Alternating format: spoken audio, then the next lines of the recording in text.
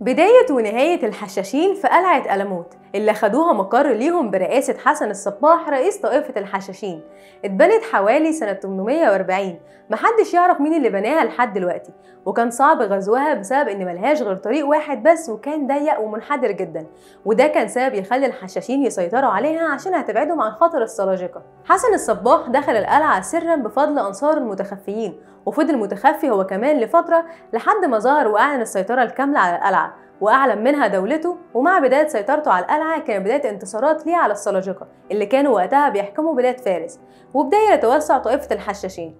وبقى حسن الصباح سيد القلعة وما خرجش منها لحد ما مات وفضلت القلعة حصينة حتى بعد وفاة الصباح. لحد ما تولى ركن الدين خرشاه وهو آخر أمراء الحصن اللي استسلم من غير قتال على أمل إن هولاكو يرحمهم لكن هولاكو دمرهم كلهم. وما تبقاش من القلعة غير 23 مبنى كانوا مكتبات وحدائق وفي 2004 حصل زلزال قوي في المنطقة خرب الباقي وما بقاش فيه غير شوية جدران قايلة للسقوط.